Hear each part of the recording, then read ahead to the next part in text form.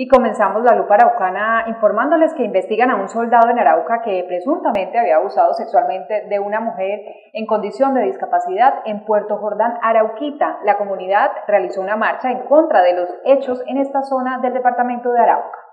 En el ojo del huracán, un miembro de la fuerza pública, por presunto abuso sexual contra una mujer con condición de discapacidad, los hechos sucedieron en el centro poblado de Puerto Jordán del municipio de Arauquita. Según la versión entregada por los familiares, los hechos sucedieron en la vereda Planeta Rica, jurisdicción del municipio de Arauquita, cuando esta mujer regresaba a su vivienda luego de trabajar en una finca en esa zona del departamento. La mujer se quedó al ingreso del centro poblado de Puerto Jordán, donde existe un puesto de control del Ejército Nacional, a esperar a su esposo y su hijo que se devolvieron a buscar algún objeto que se le había quedado en la finca donde laboraban. Según la mujer sordomuda, en su declaración y que utilizaron intérprete, dice que el soldado la había llevado a una zona boscosa obligada y allí cometió el abuso sexual mientras que sus familiares regresaban. Después de varias horas la mujer decide contarle a su esposo y de inmediato van hasta el batallón del ejército que se encuentra acantonado en Puerto Jordán y denuncian al soldado con su superior y es llevada al puesto de control para que identifique al militar que cometió el abuso. La personería del municipio de Tame, al conocer esta denuncia, de inmediato inspecciona el lugar y le hace acompañamiento a la mujer y a sus familiares ante los diferentes estrados judiciales que corresponda. Mientras tanto, la Fuerza de Tarea Quirón emitió un comunicado donde dice que el soldado implicado fue separado de las filas militar y trasladado a la Brigada 18 en Arauca con el fin que se inicien todas las investigaciones de rigor. Una queja que se recibe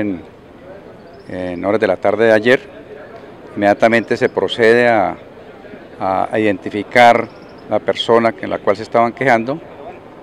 Eh, es trasladada de manera inmediata a Arauca para iniciar la investigación respectiva. De igual manera la señora, la, denunciante, es trasladada a la, al municipio de Tame donde se le pide que entable la respectiva denuncia.